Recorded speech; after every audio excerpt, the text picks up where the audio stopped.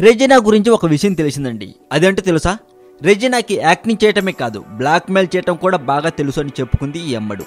ఇంతకీ ఈ అమ్మడు ఏం చెప్పి బ్లాక్మెయిల్ చేసింది అని కదా మీ సందేహం? ప్రెగ్నెంట్ అని చెప్పి బ్లాక్మెయిల్ చేసిందట. మీరు విన్నది కరెక్టే. ప్రెగ్నెంట్ అని చెప్పి బ్లాక్మెయిల్ చేసిందట. ఇంతకీ ఎవరిని అనే కదా మీ సందేహం? షాప్ కీపర్నండి మళ్ళీ కంగారు పడ్డారు కదా. ఈ ముద్దుగుమ్మకి మిష్టి దొయ్యి స్వీట్ అంటే చాలా ఇష్టమట. అయితే ఒకరోజు అర్ధరాత్రి ఈ మిఠాయి తినాలి అనిపించిందట రెజినా గారికి. ఎలా అయినా తినాలి అనిపించడంతో అర్ధరాత్రి వెళ్ళిందట షాప్కి. అప్పటికే షాప్ సగం క్లోజ్ చేసి ఉన్న షాప్ కీపర్ని మిష్టి దొయ్యి అడగ్గా షాప్ మూసేశాము అని చెప్పారట. అయితే ఎలా అయినా మిఠాయి తినాలి అని ఫిక్స్ అయిన ఈ అమ్మడు నేను ప్రెగ్నెంట్ నాకు మిఠాయి తినాలి అనిపిస్తుంది అని చెప్పి అతన్ని బ్లాక్మెయిల్ చేసిందట. ఇంకేముంది? ప్రెగ్నెంట్ అనేసరికి పైగా మిఠాయి ఇష్టపడింది కదా. మళ్ళీ షాప్ ఓపెన్ చేసి మిఠాయి తీసి ఇచ్చాడట ఈ అమ్మడికి. ఈ విషయం ఈ మధ్య జరిగిన ఇంటర్వ్యూలో రెజినా గారే స్వయంగా చెప్పుకొని నవ్వుకున్నారండి.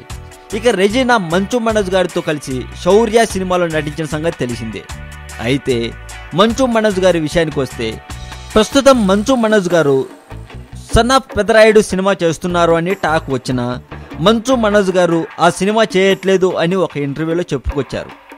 మరి ప్రస్తుతం మంచు మనోజ్ గారు చేయబోతున్న కొత్త సినిమా పేరు త్వరలో అనౌన్స్ చేస్తాము అని చెప్పుకున్నారు కూడా. ఈ వీడియో మీద మీ కామెంట్ కూడా పోస్ట్ చేయవచ్చు. ఈ వీడియో మీకు నచ్చినట్లయితే లైక్ చేయండి షేర్ చేయండి. మరి మరింత టాలీవుడ్ సమాచారం కోసం సబ్స్క్రైబ్ చేయండి టాలీవుడ్ సెంట్రల్. ఎస్జే సూర్య డైరెక్షన్లో పవన్ చేయబోతున్న మూడో సినిమా ఇది అనుకునే లోపు. ఎస్జే సూర్య సినిమా చేయట్లేదు అని పలు ప్రైవేట్ వెబ్సైట్లలో చెబుతున్నారండి. నాగార్జున గారు ఏడుస్తూ ఉండగా తన రూమ్లోకి వచ్చిన అమలా గారు ఎందుకు ఏడుస్తున్నావు? అని ఆశ్చర్యంగా అడిగిందట ఆ రోజు.